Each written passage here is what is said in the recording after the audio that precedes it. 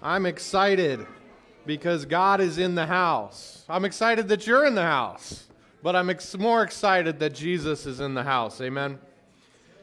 Let's pray, and we're just going to open up our service and invite the Holy Spirit to have his way today because I believe God has a great plan for us today. So, Father, we just thank you that you are here in the midst of us. God, we get to be in your presence today. And Father, I am so grateful for the plans that you have for us. I am so grateful, Lord, that the Spirit of the sovereign God has plans today to move in the midst of your people. And I ask, Lord, that as we open our eyes and, and we open our spiritual ears, Lord God, that you would help us to see and to hear clearly. Father God, I ask, Lord, that as we uh, start this service, Father, that you would cause all other things to fade into the background, Lord God, but that our, we would just be awakened to the presence of the living God in our lives, and that you would move mountains here today. In Jesus' name. Everybody said, Amen. God is so good. We have a few things coming up um, in the bulletin. Um, lots of prayer requests. There's lots of, you know, COVID about in the Berlin Gorham area, and we need to pray that that would be broken. Um, there's a there's a list of people that are connected uh, to different families and stuff. Most of them don't necessarily attend here, but um, certainly pr- pray for Pastor Rob, who's still in the hospital and struggling. Um, Buddy's sister Kate, uh, Karen and Jay's family. Um, Karen and Jay are fine, but their kids and their grandkids. Um, Larry's in here, but he's good. Um, uh, my dad and, and Kelly, and also Kelly's parents, um, are all struggling with it.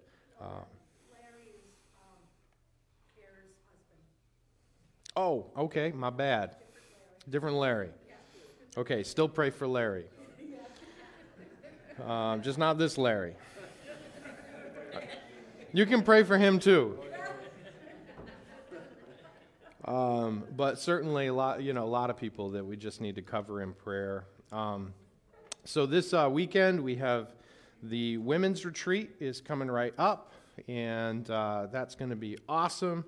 That's the 16th. Uh, I mean, uh, the 15th and the 16th. And um, and if you're not signed up for that, um, then I guess you could talk to Beth and see if there's still room in any of the rooms. Um, I know we had a couple of last minute dropouts, so there may be space if you're interested.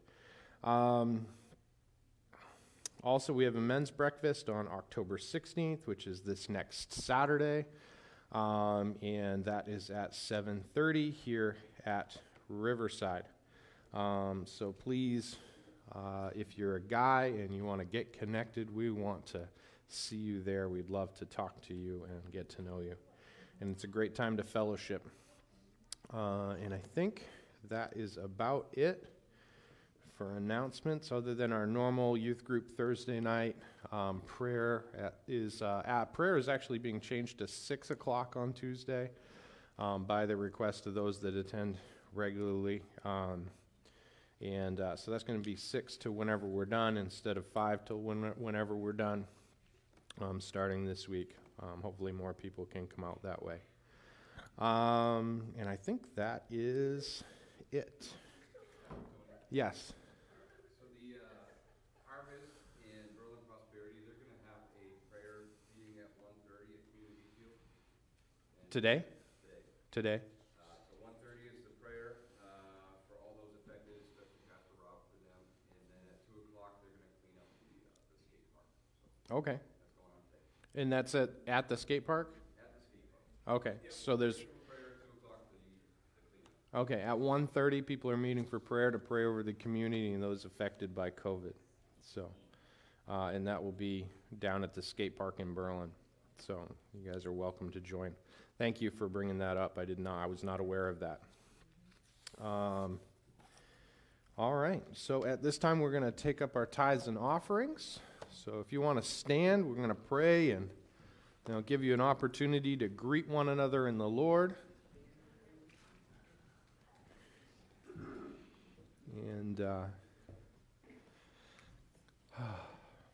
Father, thank you that all that we have comes from you.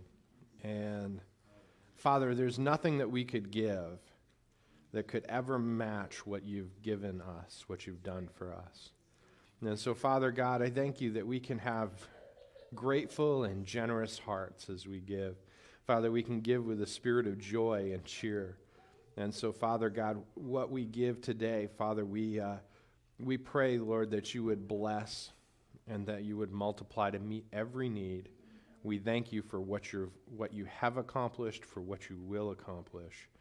And Father, we ask that you bless both the gift and the giver in Jesus' name. Everybody said, Amen. Amen. Greet one another in the Lord. Come and bring your tithes and offerings.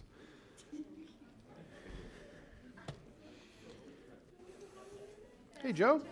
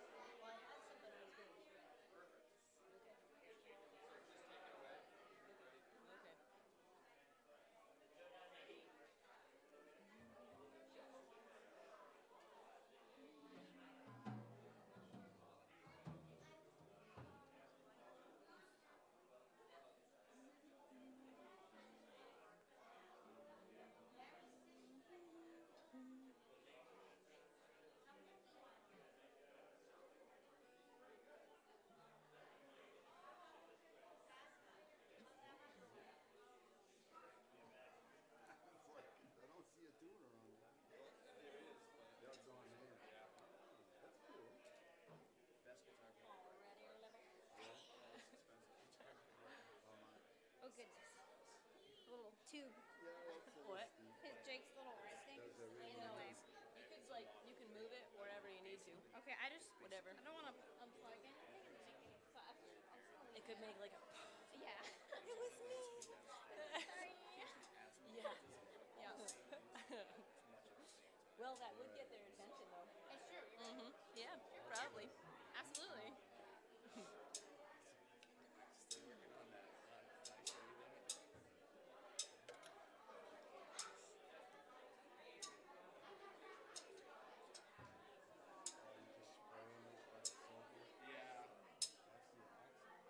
Yeah, that's the CV axle assembly, so the nut is holding the beam. But I need to replace that, and I need to replace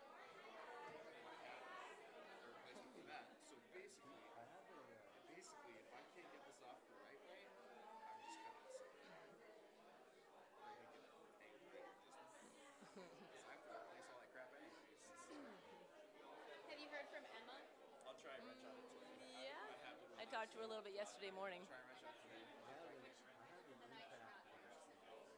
Yeah. She's struggling a little bit, but yeah, I know. I know. I know.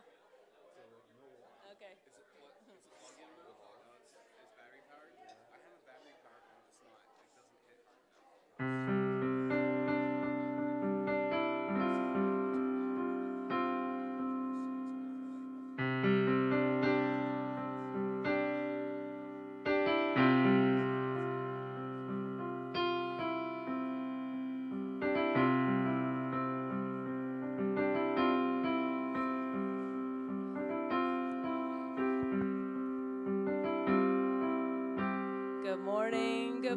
morning, Riverside. Is everybody awake? that's good. I'm not sure if I am, so that's good. The first song that we're going to sing is called Almighty, and it's an old, I think it's a pretty old song, but I don't feel so old because I know it. So I'm hoping you guys know it too. And I just wanted to share with you something. Um, I'm into like words and studying their meanings um, and exploring like their synonyms, you know, similar words. And I, I think it's important to understand like what we're saying and what we're singing to really know and to really grasp what we're saying and singing to the Lord. So the the uh, word Almighty, it means having absolute power over all. So if we apply that with a capital A, Almighty, referring to Almighty God, that means He has absolute power over all. So just think about that for a minute. And then I'm going to share with you the synonyms for Almighty, the ones that relate to God.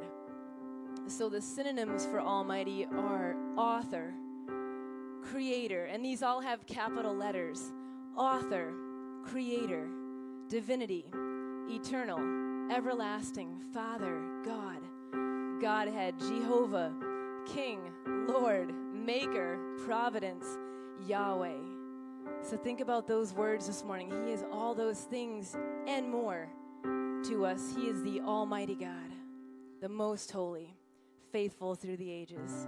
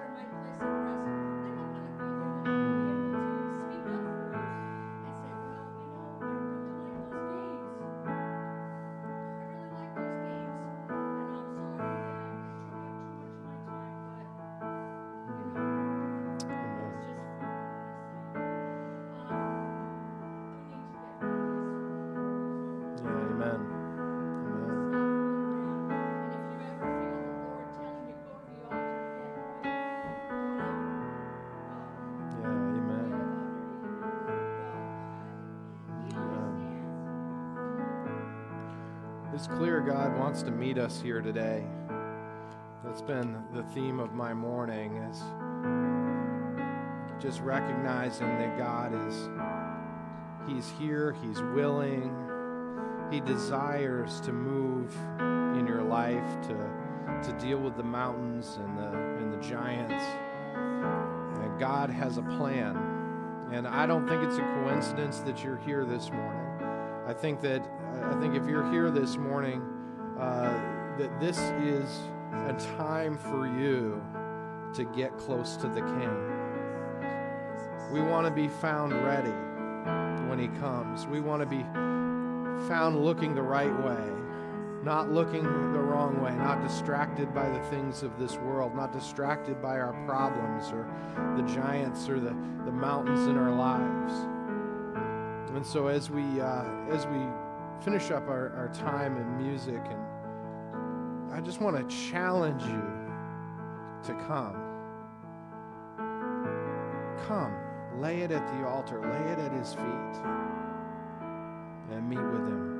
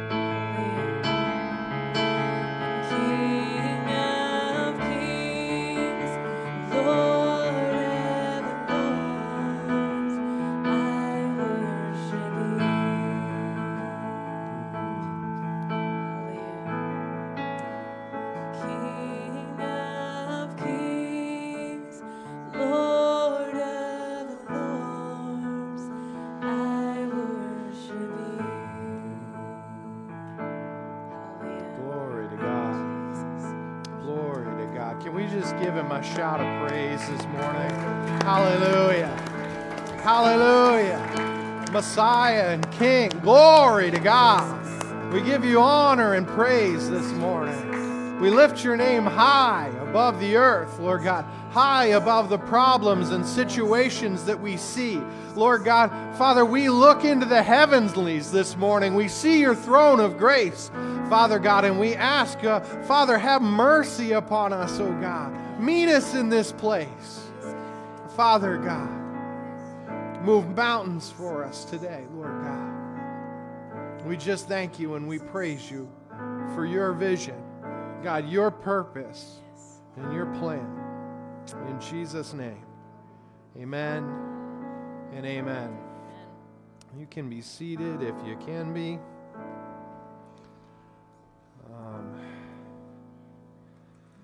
Give the teachers just a minute to get ready to grab the kids and because I know there's some kids that want to go downstairs, at least hope so. So, all right. I guess you are dismissed if you are ready. And uh, we're going to get into the word this morning.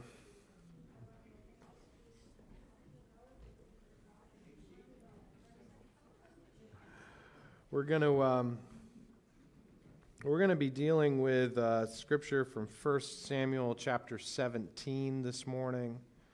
And uh, it's a classic tale of the little guy versus the big guy. We're going to be talking about David and Goliath.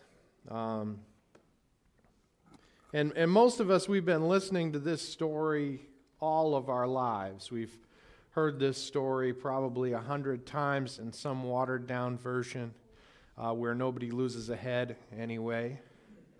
Uh, since we were probably this tall, and um, and so we we are, are are looking at this really amazing story of a young man who nobody really thought much about until this day, um, taking on a nine and a half foot tall giant, likely a survivor, a surviving relative of the Nephilim um, after the flood.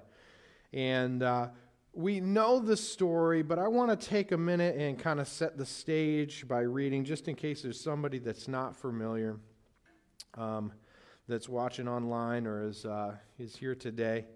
And um, you know, we know that, in, you know, in these first few verses in chapter 17, it tells us that these Philistines and the army of Israel are gathered in a valley, and the army of Israel is on one side, and the army of the Philistines is on the other side.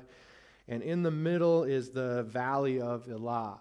And um, this is one of the most beautiful farmlands in all the world. It's such a, a lush and, and beautiful valley. Um, and it's full of bountiful harvests and, and life. And um, at this time, the armies that are set up on the hillsides, they're looking down from the two hillsides into this valley, which would be farmland. And instead of seeing life and seeing vibrance and seeing the fruit of the land, what they're seeing is a valley of the shadow of death. This is, uh, this is a place where you go to die. And um, and so this is kind of a scary place. And uh, the battle lines are drawn. And we'll start reading in verse 4.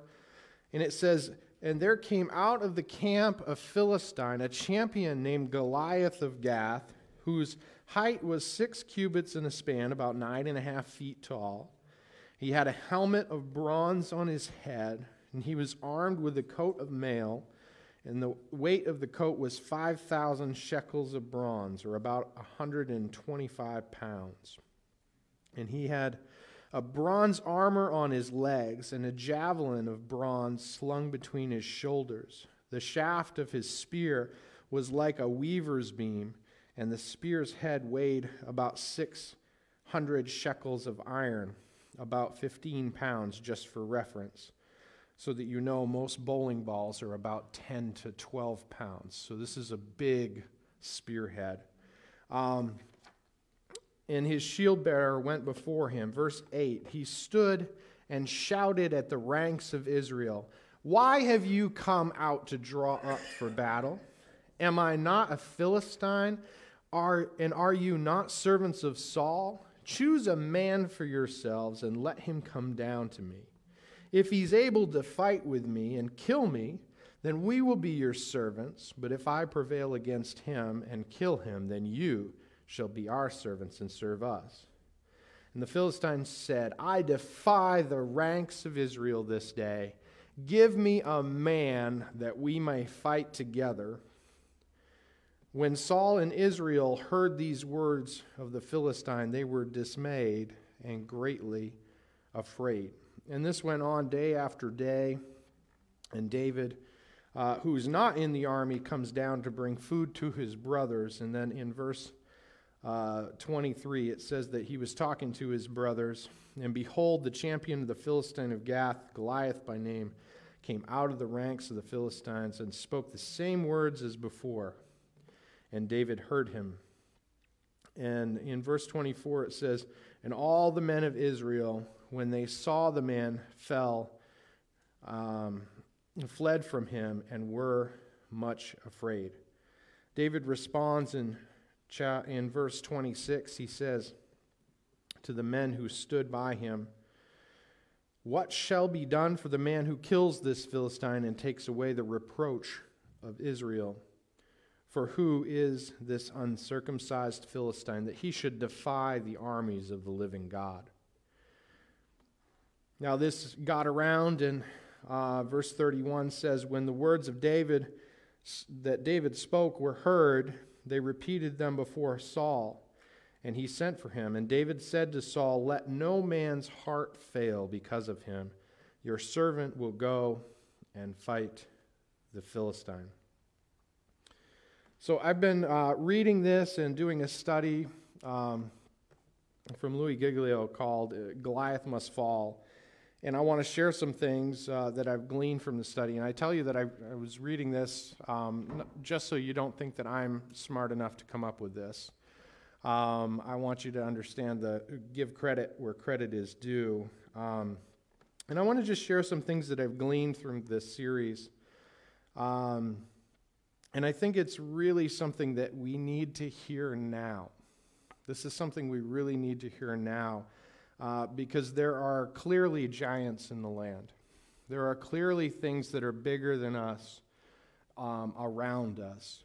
And I believe that the Spirit of the Lord wants to speak into our hearts and lives concerning finding our champion this morning finding our champion. And, and some of us, we're sitting here and, and you're thinking, man, I'm, I'm glad you're preaching on this. The person next to me really needs it.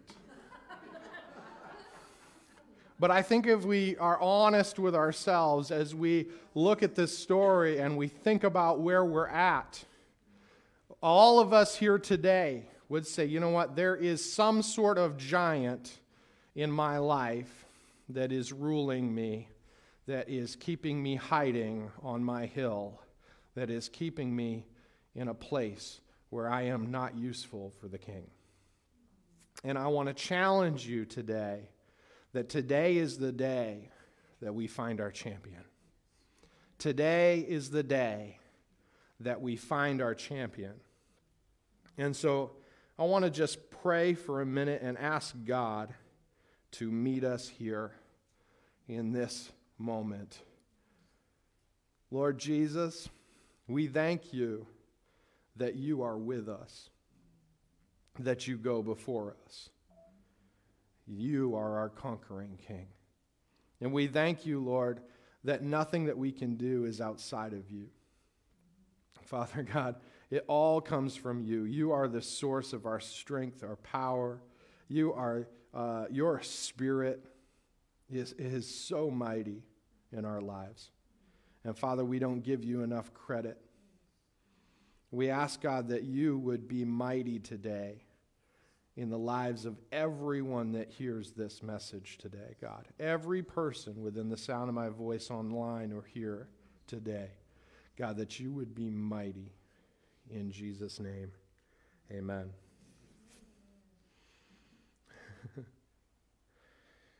when we start facing off against a giant, what better story to read than 1 Samuel chapter 17?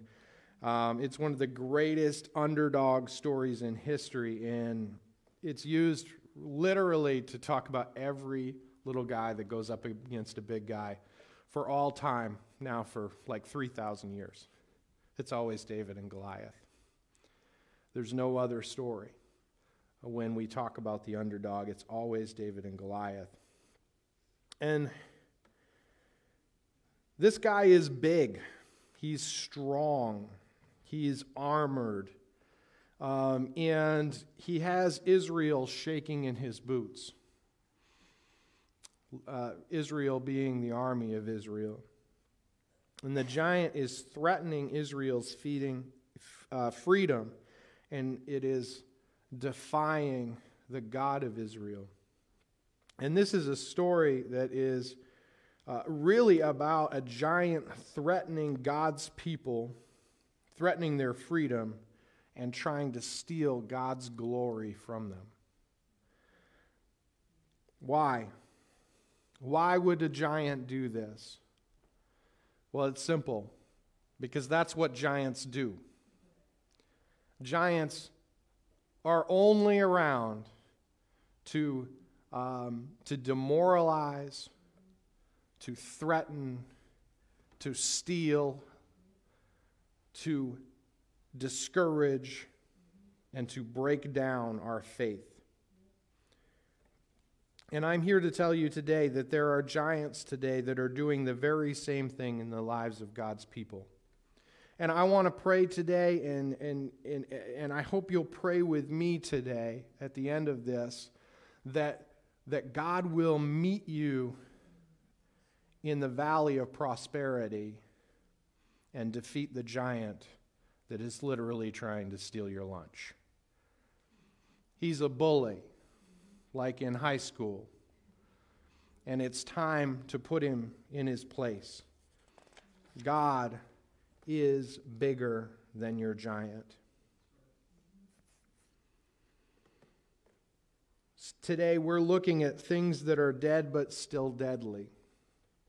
And um, how many of you have ever held a snake before? When you're everybody, pretty much when you're a kid, you you go out and you turn over the wood piles and you find, especially boys, I don't know why, but I used to love to catch me some snakes when I was a kid. And my friend, my friend, he had a, his dad had a python, and a big old python. I mean, I don't really know how big because I was this tall. And so in my mind, it's like nine feet tall, but it's probably only like four feet long, right?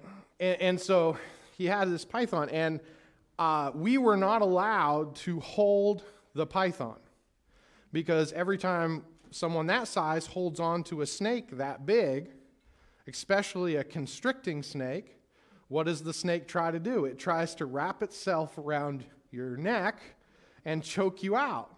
Now, it's super cool to hold a python, but if you're little, that python looks at you as lunch.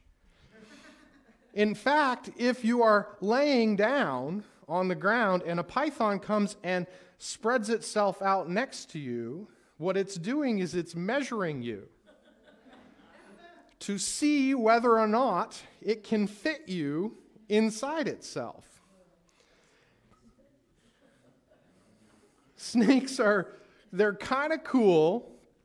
I have always liked snakes, I've always enjoyed playing with snakes. Um, and, and I used to catch them all the time, but I'm a country boy from Maine. And in Maine, there's really no poisonous snakes, there's no big constricting snakes. And uh, when I was a kid, I was uh, seven, we went to South Dakota. And uh, in South Dakota, apparently there are snakes that will kill you. And I was out in the backyard of my aunt's house and, and I caught a snake and I brought it in. One of the biggest snakes I've ever caught, in fact. And uh, man, I was proud of it. And I brought it inside, and my aunt screamed, and my mother screamed. And they said, Go outside and you throw that snake as far as you can.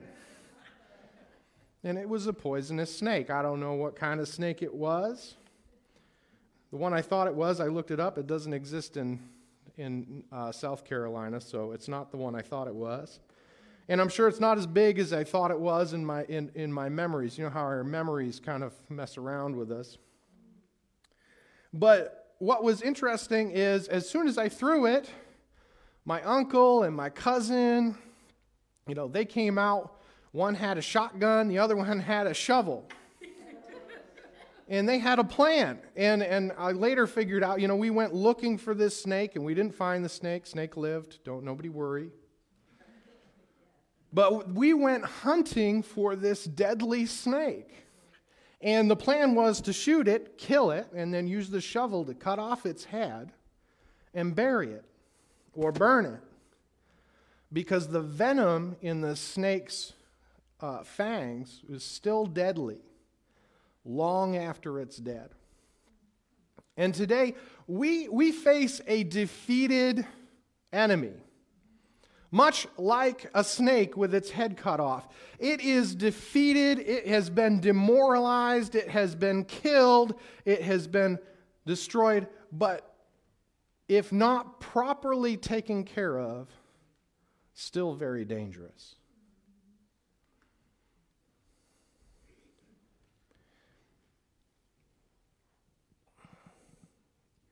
We're in an interesting situation, we're dealing with a conquered enemy that can still hurt us, even though it's defeated. And this is much like the reality that we face today. Jesus has finished the work on the cross, He's defeated the enemy, He's cut off the head, but we live in a time when it is yet to be thrown in the fire. And so, though it is uh, it, its reach is, is diminished. He's still deadly, though defeated. He's still dangerous, and we need to put him in his proper place. James chapter 4, verse 7 says, Submit yourself therefore to God, resist the devil, and he'll flee from you. God has given us the power to resist him. God has done the work in defeating him. We just need to rest in Christ and submit ourselves to him, and he will set us free. He has set us free from the bonds of sin and the grave. These great giants face us all, the grave being the greatest of the giants that we'll ever face. And as Christians, we don't have any fear of the grave, for we know that the grave has been conquered. Thomas Hobbes, a political philosopher and atheist, said on his deathbed, I say again, if I had the world at my disposal, I would give it all to live one day. I'm about to take a leap into the dark. Atheist Caesar uh, Borgia said this on his deathbed While I live, I provided for everything but death, but now I must die, and I am unprepared to die. Thomas Paine, the, athe- uh, the leading atheistic writer in the American colonies, wrote uh, a book called The Age of Reason. He was recorded as saying this on his deathbed Stay with me for God's sake. I cannot bear to be left alone. O Lord, help me. O God, what have I done to suffer so much? What will become of me hereafter? I would give worlds if I had them, that the age of reason had never been published. O Lord, help me. Christ, help me. No, don't leave me. Stay with me. Send me even a child to stay with me, for I am on the edge of hell here alone. If ever the devil had an agent, I have been that one. He said this laying in a comfortable bed, surrounded by his family. The Apostle Paul, murderer of Christians, turned follower of Christ, recorded a different sentiment, facing the same giant. He says, For me to live is Christ, and to die is gain. In another letter, he writes, When the perishable has been clothed with imperishable, when the mortal with immortality, then the saying that is written will come to pass Death has been swallowed up in victory. Where, O death, is your victory? Where, O death, is your sting? The sting of death is sin, and the power of sin is the law. But thanks be to the God who gives us victory through the Lord Jesus Christ. You see, the giant of sin, death, hell, and the grave, they have been vanquished for the believer. And we stand set free over these by simply professing the name of Jesus in our lives. But what of these other pesky giants that keep coming back into our lives? Things that are less eternal but chronic in our lives. Things that stick around while we're still breathing. Things like depression, rejection, addiction, fear, slothfulness, anxiousness, brokenness of all kinds. You know that God is greater and that the devil has been defeated,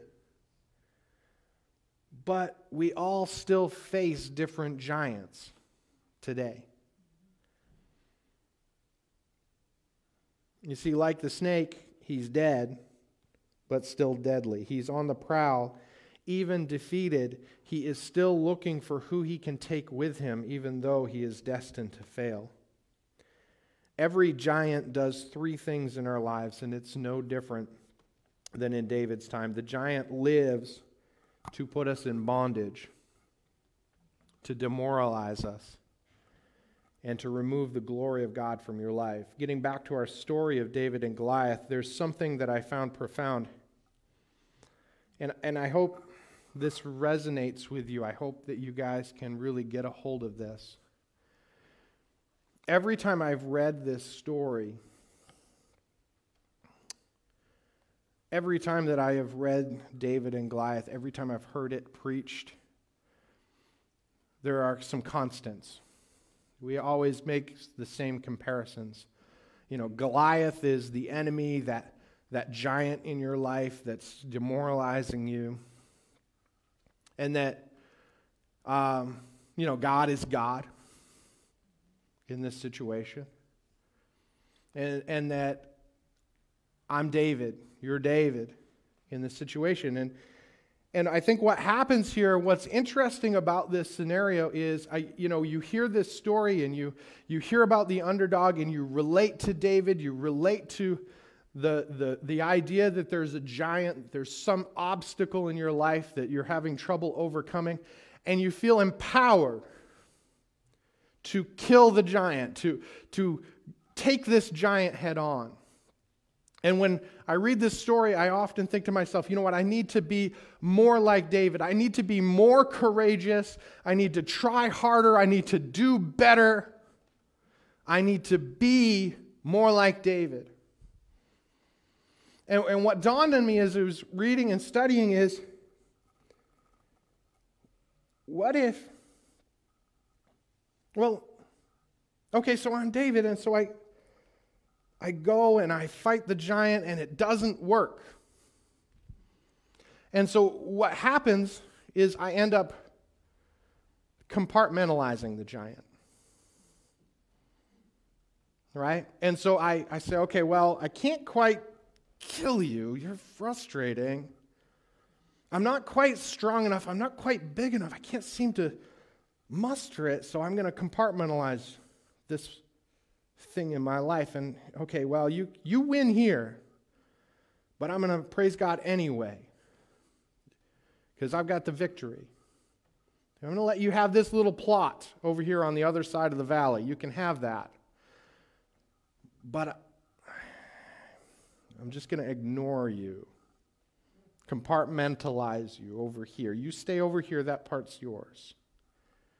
And I go on and I continue to fight the fight. I continue to have faith. I continue to walk with God.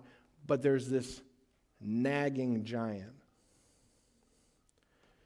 And there's Maybe another place in my life where the giant is stealing.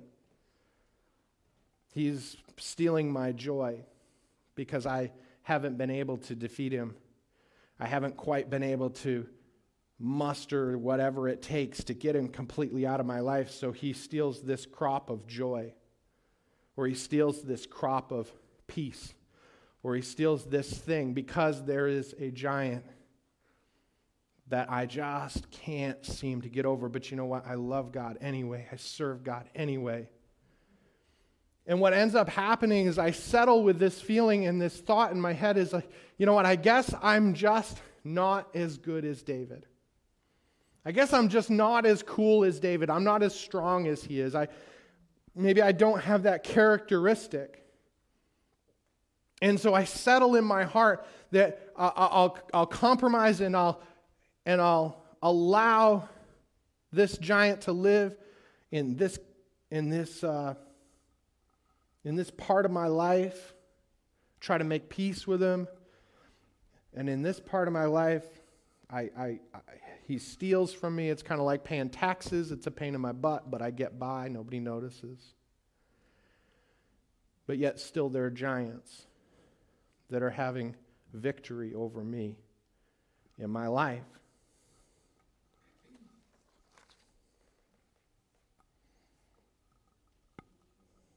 But what if for generations we've missed the point of this story? What if what if I'm not David? What if I was never supposed to be David? What if David is not my role in this story? I want you to just wrap your head around this concept just for a minute.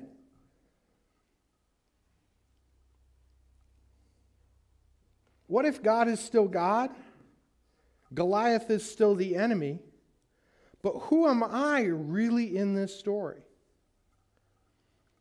I'll tell you who I think you are. You're part of the army of the living God. You are part of the army of the living God. Outsized, outmatched, trembling, hiding, because you don't have the power to defeat the giants in your life. On your own, they're too big.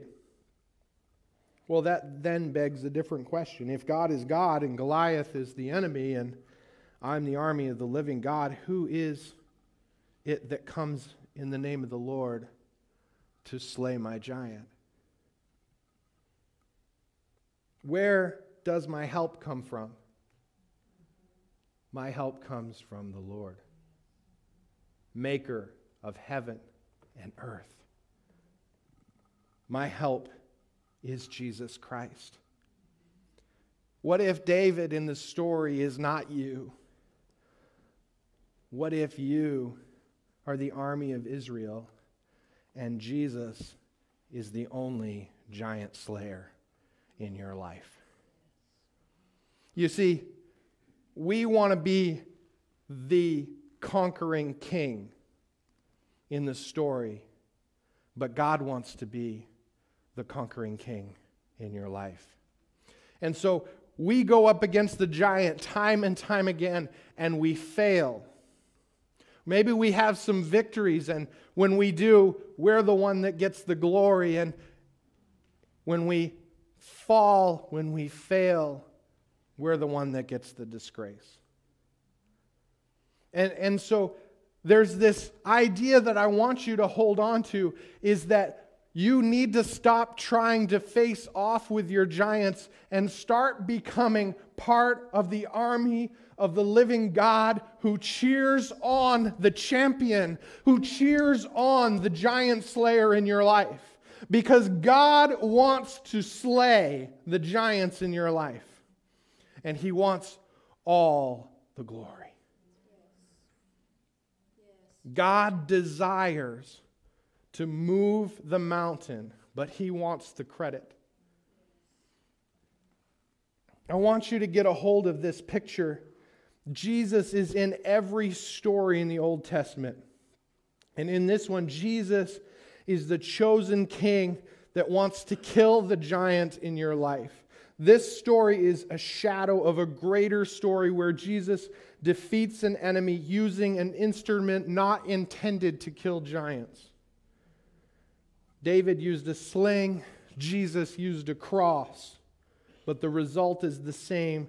The enemy is defeated, the head has been removed from the snake. You were never supposed to be David in your story. You were never supposed to be David in your story. You were never meant to be the champion of your life. You were never meant to be more than a soldier in the army of the living God. Cheer on your champion, the king that destroys all that stands against the army of the living God. Can I tell you this is exciting? Because I have to tell you, in my life, battling giants is exhausting. And I'm tired. I'm tired of battling the giants. I don't know about you, but when depression knocks on my door or when anxiety knocks on my door, I am tired of fighting that fight. But the army of the living God doesn't fight the fight. They cheer on their champion. They follow him into battle. And we, as God's people, we need to begin to see Jesus as the giant slayer, Jesus as the champion of our lives. It is so easy when we read this story to want to pick up the sword and or our sling and go after the giant ourselves. It's so inspiring. But what we need is we need to submit ourselves to the champion of our life.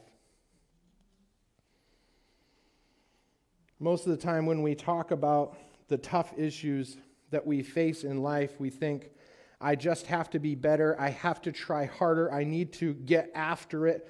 But in this series that we're going through over the next several weeks, I'm not going to be asking you to do better, try harder, or defeat your giant on your own. It will be about finding the champion of your life and letting him loose on the giants you've been facing. Saul says in verse 11 when Saul and the Israelites heard the words of the Philistine, they were dismayed and greatly afraid. Listen to what Saul, uh, David says to Saul in verse 32. David says to Saul, Let no man's heart fail because of him. Your servant will go and fight this Philistine. I believe that when David heard the speech of the giant, his blood began to boil. And he looked at the eyes of the warriors that were around him shaking in their boots. And he sees this giant coming out. And, and he sees that the goal of this giant is to take away any hope of victory. And David says, Let no man's heart feel fear. Let no man's heart fail. Because of him, I will go and fight. 2,000 years ago, Jesus saw us standing before an accuser and standing before God, and he realized that the fight was too big for us. He did not, we didn't have a case. We didn't have the ability to defend ourselves. So he chose the way of the cross. He chose the way of the cross to take away the penalty of our sin, to take away our brokenness, and to defeat the, the accuser. And he silenced the accuser with the nails and the stripes. Some think David's crazy. In fact, when you think about it, you got a little kid with a rock going up against a nine foot tall giant. It's pretty crazy. And, and Saul even tells him, Go home, kid. Go home. Saul's head and shoulders above everybody else. He looks at this little kid says, No way. Not you.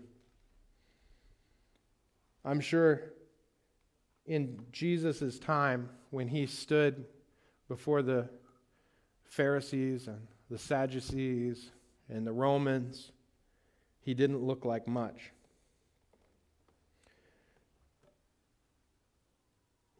He probably,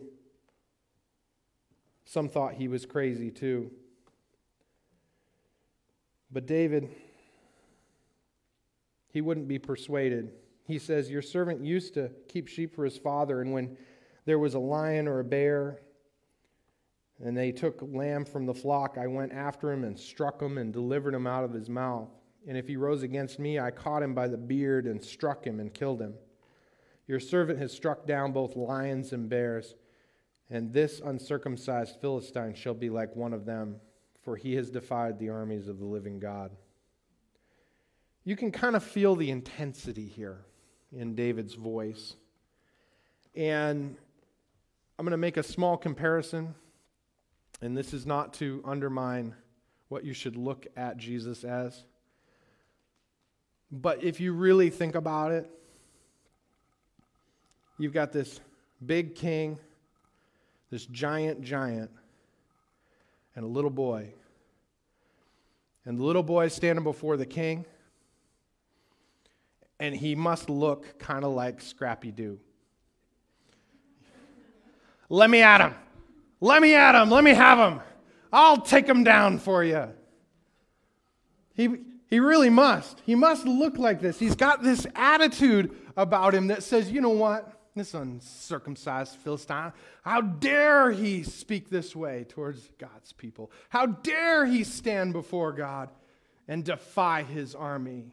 Oh, I'll take him out. This little Scrappy Doo. And you know, when you stand with God, when you have a relationship with the King of Kings, when you have a relationship with the giant slayer, you can stand with that sort of confidence in your life. I want to challenge you guys as we go through this series to really begin to look at your giants, find them name them, discover what they are, and then set the champion of your life loose.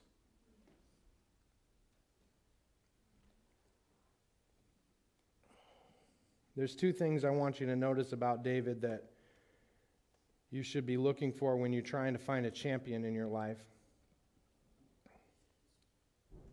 David was not motivated by his own safety or his own freedom. In our culture, everything come back, comes back to self. It's about my problems, my diagnosis, my issues. In fact, most people look at the Bible as a self help book. And I got to tell you, it's not. It does function in a way that improves your life and will give you the keys to move forward, to conquer your giants, if you will. And there's nothing wrong with basing your life on the words of this book. This is an amazing book. But this book was created to give glory to God. It's created to bring light to the giant slayer. Boy, I'm having all sorts of problems with this mic today. Excuse me. It's just driving me crazy. There, that's better. But in our culture, it does. It tends to be all about us. But David, he's not looking to keep himself free or safe. He's about two things here, and we need these two things as well. David is motivated by setting others free from the giants that threaten them. What's at stake here? Goliath says, Send a man down, and if he fights me and wins, we'll serve you, and if I defeat him, you all will serve me. Giants live for the purpose of enslaving God's people. Jesus lives for the purpose of setting us free. Whatever giant you face in your life, you're not slave to it in Jesus' name. Depression, anxiety, fear, failure, addiction, pride, lust, pornography, falsehood, trauma, pain They all must fall in Jesus' name. Him whom the Son sets free is free indeed. Amen? Resist the devil and he must flee. Draw close to God and he'll draw near to you. David was not concerned for his own safety, he was only worried about two things freedom of others, and he was also concerned with the fame of God. David was motivated by God's glory. He was motivated by bringing fame to God. Listen to Goliath's speech. In verse 10, it says, David, the, uh, the Philistine said, I defy the ranks of Israel this day. Give me a man that we may fight together. In verse 45, David responds to the Philistine and he says, You come to me with a sword and with a spear and with a javelin, but I come to you in the name of the Lord of hosts, the God of the armies of Israel, whom you have defied. This day the Lord will deliver you into my hands. I will strike you down, I will cut off your head. and I'll give your bodies to the host of the, Philist- of the host of Philistines this day to the birds of the air and the wild beasts of the earth, that all the earth may know that there is a God in Israel. David wanted the world to know that Jehovah was still almighty. He wanted Israel to see that God could defeat a giant with a stone. He, his desire was to set the captives free, but to bring all the glory back to God. When Goliath stands before the army of Israel, he stands there and he demoralizes them. He stands over them, and everything that he represents represents the idea that your God is small. Look at me, I'm big. Your God is tiny and puny. What will he do against me? Who amongst you will stand against me? And this is the same thing that we face today when we face our giants. Everything looks big and blown out of proportion, everything is larger than we can manage.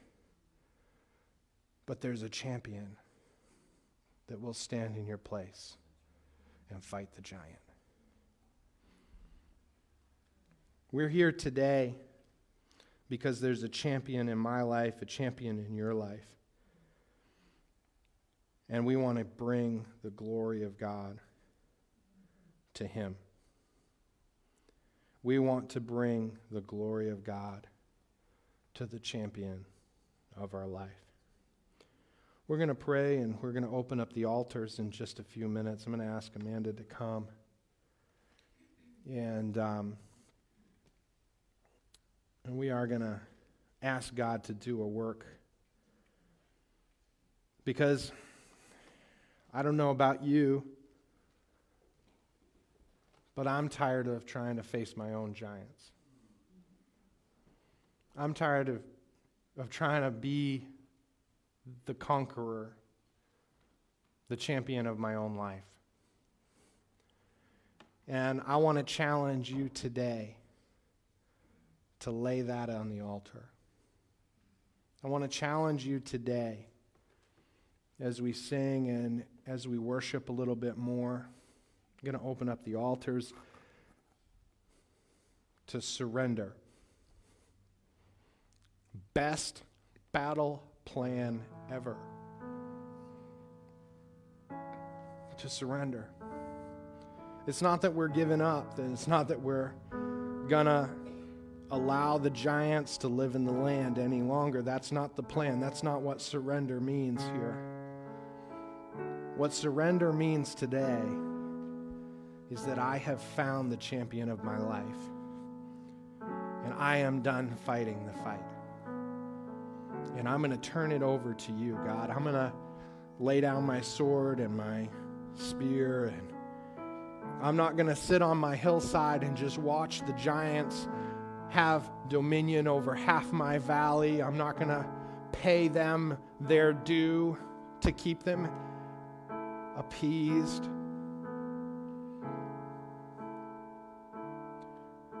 I'm going to lay down my weapons and I'm going to stand and I'm going to cheer for my champion.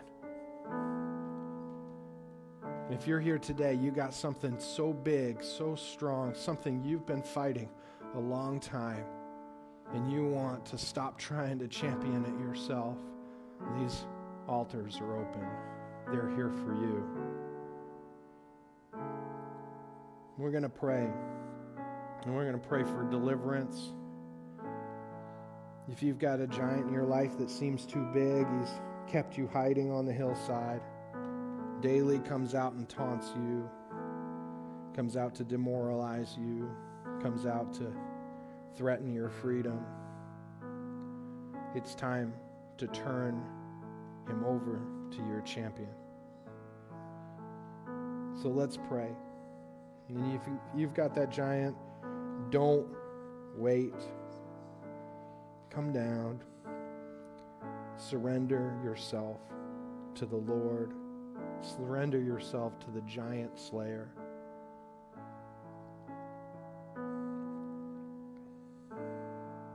God, as we stand here today, I'm done fighting my own giants, God. I'm, I'm done dealing with this Goliath in, in my life, whatever its name is. And Father, I just ask Father, that you, that you would be bigger in my story. Father, I've tried to champion it my own, on my own, and you know what? I'm just not as cool as David. I'm not as good as David, God. But you are much better. And so, Father, I lay down my weapons, I, I lay down the fight. God, and we just stand before you in awe of the great conqueror, in awe of the giant slayer. And Father, we cheer you on, Lord God, to take out this giant that I have no control over, God. This giant that, that, that has been demoralizing and, and, and causing fear and anxiety and brokenness. And God, we, we pray, Lord God, that these giants would be defeated, not by our might not by our power, God, but by your Spirit. Father, sovereign Lord, have your way in this valley. Have your way in this valley. Father, bring prosperity back to this valley. Father, no longer a valley of death, no longer a valley of fear, no longer a valley of anxiety, no, va- no longer a valley of brokenness, but God, a valley of victory. Lord God, Father, clear of all giants. We thank you that you are our conqueror, that it is not within my power, but within yours. And so, Father, we place our giants in your hands. And we say, Father, have your way. We thank you, Lord, for what you're doing The altars are open. If you need to find a place to pray and surrender, we're going to keep this a holy place.